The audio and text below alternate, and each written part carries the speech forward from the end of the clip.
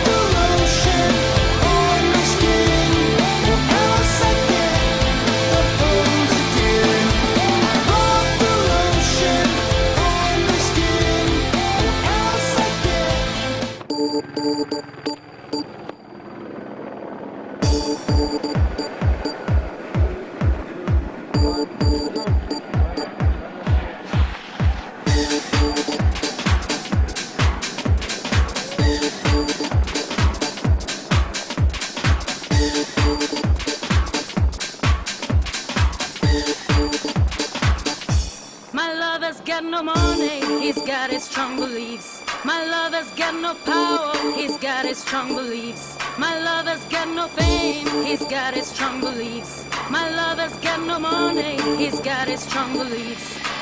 One more and more, people just want more and more freedom and love.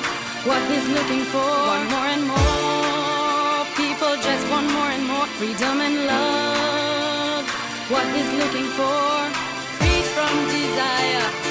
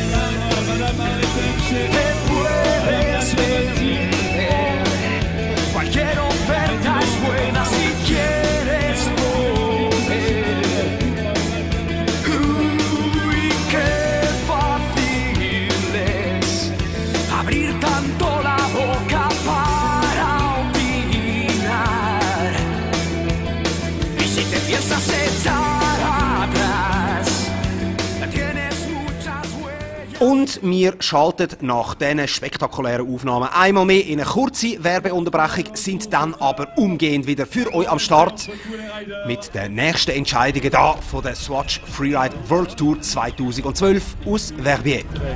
You.